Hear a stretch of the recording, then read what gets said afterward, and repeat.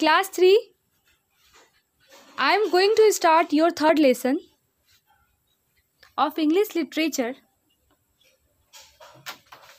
The name of your third lesson is The Clever Octopus. Today I am going to explain about the clever octopus. Clever, clever means होता है चालाक, octopus means होता है octopus. Warm up. Look at these water animals. Don't they look amazing?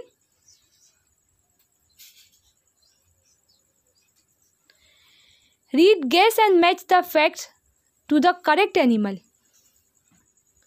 Look at this water animals octopus भी क्या है एक water animal है पानी में रहने वाला जानवर है look at this water animals यहाँ पे कुछ वाटर एनिमल्स के पिक्चर्स दिए गए हैं उनका नाम दिया गया और उनके कैरेक्टरिस्टिक्स को इस बॉक्स में लिखा गया है। इस पानी वाले जानवरों को देखिए। डोंट दे लुक इमेजिन क्या ये अद्भुत नहीं है? Read and guess and match the facts to the correct animal पढ़िए। अनुमान लगाइए।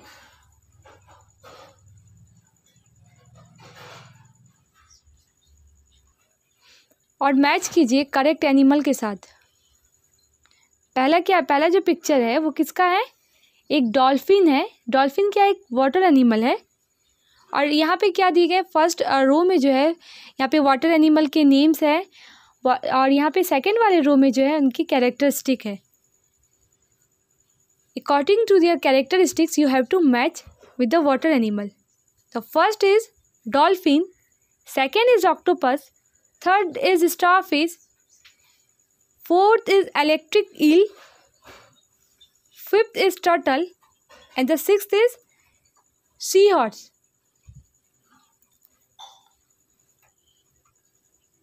Read the second uh, row. Looks like a star. Doesn't have blood and brain? Has sharp hearing talks by whistling and making sound. Has no teeth and stomach eats constantly to stay alive. Has a bony shell and a big instead of teeth. Has head shaped like a bulb and eight arms. Gives a strong electric shock. यहाँ water animals के name दिए गए हैं। इस second वाले box में क्या लिखा हुआ है? लुक्स लाइक अ स्टार जो दिखता हो एक सितार, स्टार यानी कि स्टार तारा के जैसा does not have blood and brain लेकिन क्या नहीं है उसके पास? ब्लड ब्लड में होता है खून एंड ब्रेन यानी कि दिमाग। ऐसा वाटर एनिमल है जो दिखने में किसके जैसा बिल्कुल तारे जैसा हो लेकिन उसका ना ही तो ब्लड है ना ही खून है और ना ही ब्रेन है। अब सेकंड में क्या दिया है, sharp hearing talks by whistling and making sound सुनने की जो उसकी जो क्षमता है बहुत ज़्यादा है मतलब बहुत ही शार्प है। टॉक्स बाय विस्लिंग बात कैसे करता है? सीटी बजा के और आवाज़ करता है साउंड पैदा करता है मेकिंग साउंड थर्ड में जो कैरेक्टरिस्टिक है has no teeth and stomach उसके पास क्या है? ऐसा वाटर एनिमल है जिसके पास दांत नहीं है और पेट भी नहीं है। इट्स और खाता है वो हमेशा खाते रहता है टू स्टे अलाइव यानी ज़िंदा रहने के लिए वो वाटर एनिमल जो है, वो क्या करता है? नहीं, उसके पास दांत है, ना ही पेट है। लेकिन वो हमेशा खाता रह खाते रहता है ज़िंदा रहने के लिए। ये थर्ड कैरेक्टरिस्टिक है। और फोर्थ में क्या है? हैज़ अ बोनी शेल यानी हड्डीदार खोल है उसका, उस वाटर एनिमल का and a beak instead of teeth दांतों की जगह क्या है उसके पास? चोंच है। फिफ्थ नंबर में क्या है? Has head shape like a bulb and eight arms उसका सर का जो आकार है, वो देखने में कैसा है? बिल्कुल एक बल्ब जैसा है और उसकी आठ बाजू हैं। कौन सा वाटर एनिमल कैसा है? सबसे लास्ट वाला दिया गया है। Gives a strong electric shock जो बहुत ही तेज़ क्या देता हो? बिजली का झटका देता हो। First of all I am going to give the number one two three four, five, six. There are six water animals. The first is dolphin dolphin has sharp hearing talks by whistling and making sound dolphin की जो सुनने की क्षमता होती है बहुत तेज़ होती है। वो लोग बात कैसे करती है? सीटी बजा के और आवाज़ पैदा करती है। तो डॉल्फिन ही एक ऐसी मछली है जो क्या करती है? Making sound right here one. ठीक है? सेकेंड नंबर में क्या है? ऑक्टोपस ऑक्टोपस में ऑक्टोपस का कैरेक्टरिस्टिक्स क्या है? उसके अंदर खासियत क्या है? कि octopus has head shaped like a bulb and eight arms octopus का जो सर है, वो एक बल्ब जैसा है और उसके आठ बाजुए हैं। ऑक्टोपस के पास कितने हाथ हैं? कितने बाजू हैं? आठ। तो ये क्या हो जाएगा? सेकेंड नंबर टू लिख दीजिए यहाँ पे। So right here two third number में स्टार फेस स्टार फेस का कैरेक्टरिस्टिक क्या हो जाएगा? Looks like a star does not have blood and brain ऐसा वाटर एनिमल जो देखने में एक स्टार यानी तारा जैसा है, लेकिन उसमें खून भी नहीं है और दिमाग भी नहीं है। तो ये क्या है? स्टार फेस तो यहाँ पे थ्री नंबर लिख दीजिए। फोर नंबर में क्या है? Electric eel electric eel gives a strong electric shock इसका नाम ही क्या? इलेक्ट्रिक ईल है। तो ये क्या देखता है? बहुत ही तेज़ बिजली बिजली का झटका देता है। एक ऐसा वाटर एनिमल है जो क्या करता है? स्ट्रॉन्ग इलेक्ट्रिक शॉक देता है। तो फोर्थ नंबर हो जाएगा ये वाला। इलेक्ट्रिक ईल फिफ्थ नंबर में क्या दिया गया है? टर्टल टर्टल का कैरेक्टरिस्टिक्स क्या हो जाएगा?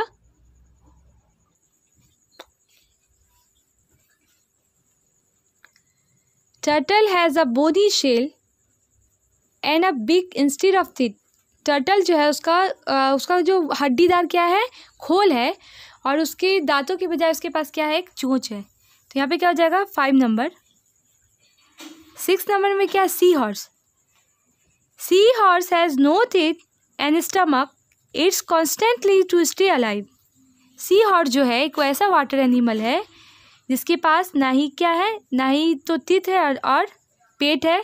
इट्स कॉन्स्टेंटली हमेशा वो क्या करता है खाते रहता है ज़िंदा रहने के लिए। तो ये सिक्स नंबर हो जाएगा। पहले three one six five two four so start this story what has three hearts eight arms and one huge brain किसके पास तीन दिल है, आठ बाजुएँ हैं और एक बड़ा सा दिमाग है? हम लोग के पास तो सिर्फ़ क्या है? एक ही क्या है? एक हार्ट है टू आर्म्स है और वन है वन ब्रेन है, वो भी ह्यूज नहीं है।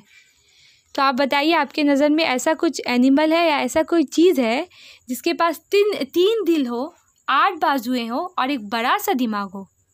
वो क्या है फ्रेंड एन ऑक्टोपस स्टूडेंट्स, वो क्या है? एन ऑक्टोपस एक ऑक्टोपस है, जिसके पास क्या है? An octopus has three hearts eight arms and one huge brain octopus के पास तीन दिल है, आठ बाजुएँ हैं और एक बड़ा सा दिमाग है। It is a creature it is a creature that can do wonderful thing ये ऐसा जंतु है ऐसा जीव है जो क्या कर सकता है? वंडरफुल वंडरफुल मीन्स होता है, आश्चर्यजनक चीज़ों को वो कर सकता है। It is a creature that can do wonderful thing बहुत सारी आश्चर्यजनक चीज़ों को वो कर सकता है। एक ऐसा जीवाणु है। हर्ट्स मीन्स होता है दिल। तीन दिल है। आर्म्स यानी के बाजू। यूज़ यानी बहुत बड़ा, विशाल। ब्रेन यानी कि दिमाग। Octopus it is a creature creature यानी कि जीवाणु, जीव। वंडरफुल थिंग्स वंडरफुल मतलब होता है आश्चर्यजनक, निराला। ऐसा ऑक्टोपस ऐसा वाटर एनिमल है जो बहुत सारी अद्भुत चीज़ों को कर सकता है। The name octopus comes from the Greek word octo which means eight name octopus ये जो नाम ऑक्टोपस है, वो कहाँ से आया है? वो ग्रीक वर्ड है। ग्रीक ग्रीक क्या है? ग्रीक यानी कि एक ला, यूनानी, एक यूनानी वर्ड शब्द है ऑक्टो जिसका मतलब होता है आठ। ग्रीक यानी होता है लातिनी लातिनी शब्द है, जो कहाँ से आया? ऑक्टोपस का, ये जो ऑक्टोपस जो मीनिंग है, जो ऑक्टोपस वर्ड है, वो ग्रीक वर्ड ऑक्टो से आया है, जिसका मतलब आठ होता है। Octopus octopuses are synonym octopus का जो है और भी नाम है। Because they have eight arms which are called tentacles क्योंकि उसके आठ बाजुए हैं। इस वजह से उसका नाम क्या है? टेंटिकल्स भी पड़ा है। टेंटिकल्स मतलब होता है लता, तंतु या स्पर्शसूत्र, मूछ। टेंटिकल्स को उर्दू में खेमे भी कहते हैं। आर सो नेम और भी नाम है क्योंकि दे हैव वे लोग रखते हैं एट आर्म्स वर्ड हन, look out for words ending with E D in the chapter. ऐसे वर्ड को क्या करना है, देखना है, जिसके लास्ट में क्या आता हो ई डी जैसे कि नेम्ड हो गया यहाँ पे।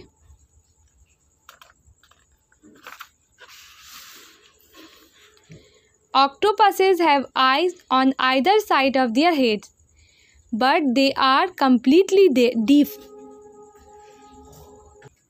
octopuses have eyes octopus जो रहते हैं, उनका क्या होता है? आँख होता है on either side of their head उनके सर के दोनों तरफ़ क्या होता है?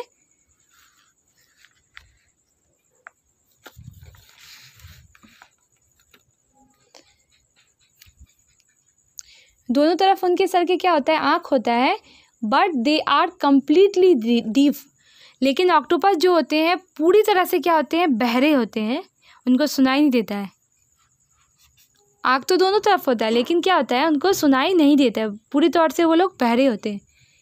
आइज़, आइदर साइड यानी कि दोनों तरफ़। Head, sir. कंप्लीटली पूरी तरह डीप बहरा। Octopuses are extremely intelligent. Octopus जो रहते हैं, बहुत ज़्यादा क्या होते हैं, बुद्धिमान होते हैं, बहुत तेज़ होते हैं। एक्सट्रीमली मिस होता है, निहायत। इंटेलिजेंट यानी कि बुद्धिमान। They can learn new thing just like human human beings they can learn new things octopus जो रहते हैं, वो लोग नई नई चीज़ों को सीख सकते हैं। जैसे इंसान सीखते हैं, उसी तरह से ऑक्टोपस इतने इंटेलिजेंट होते हैं, इतने बुद्धिमान होते हैं, इतने ज़्यादा कि वो इंसानों के जैसे नई नई चीज़ों को सीख सकते हैं। लर्न मिस होता है सीखना। न्यू थिंग्स यानी कि नई चीज़ जस्ट लाइक ह्यूमन बींग यानी कि इंसानों जैसे। They have even learn a few tricks to get out of troublesome situations they have even learn यहाँ तक कि वो लोग जो हैं ऑक्टोपस जो है वो लोग क्या सीखे हैं? कुछ कुछ आ, कुछ तरकीबें सीखे हैं परेशानियों से बाहर निकलने की। इतने ज़्यादा तेज़ हैं कि वो लोग कुछ तरकीबों को सीख चुके हैं कि अगर जब परेशानी वाली हालत रहे तो उससे बाहर कैसे आना है। लर्न होता है सीखना a few tricks few a few होता है कुछ ट्रिक्स यानी कि तरकीबें। To get out get out means बाहर आना ऑफ़ ट्रबलसम ट्रबलसम मतलब होता है परेशानी. सिचुएशंस यानी कि हालात. If an octopus is chased by a predator such as a shark or a bird, it can use its incredible skills to get away. If an octopus is chased अगर octopus का पीछा किया जाता है या शिकार करने की कोशिश किया जाता है बाय अ प्रीडेटर प्रीडेटर में होता है दरिंदो। अगर उनका ऑक्टोपस का अगर कोई पीछा करता है, जैसे कि दरिंदे हो गए, उनके दुश्मन हो गए, जैसे क्या क्या हो गए शार्क या फिर कोई चिड़िया it can use its incredible skills to get away वो क्या ऑक्टोपस क्या करते हैं, अपना आश्चर्यजनक स्किल जो होता है आश्चर्यजनक उपाय के ज़रिए वो क्या करते हैं, उससे भी वो लोग बच निकलते हैं, बाहर आ जाते हैं। इतने ज़्यादा वो लोग क्या होते हैं इंटेलिजेंट होते हैं। गेट अवे में सोता है, निकलना। प्रीडेटर प्रीडेटर में से होता है, दरिंदा। चेस्ट में से होता है, पीछा करना। सच ए शार्क शार्क एक वाटर एनिमल का नाम है, और a bird it can use its incredible incredible यानी कि आश्चर्यजनक। आश्चर्य इनक्रेडिबल में होता है आश्चर्यजनक। हैरत अंगेज साउड के से वो लोग क्या करते हैं अपने ट्रिक से वो लोग वहाँ से भी वो लोग बच निकलते हैं, बाहर आ जाते हैं। गेट अवे मिस होता है निकलना। Read this read read this story again what has three hearts eight arms and one huge brain. An octopus. It is a creature that can do wonderful things. The name octopus comes from the Greek word octo, which means eight. Octopuses are so named because they have eight arms which are called tentacles.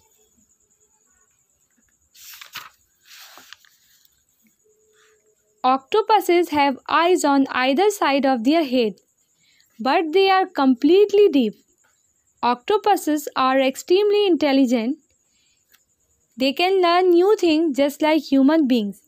They have even learned a few tricks to get out of troublesome situations.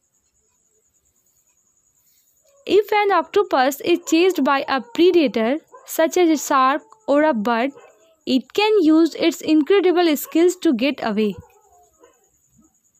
Class 3, your formative assessment is going to start. So read the lesson carefully and try to remember the word meaning, question and answer.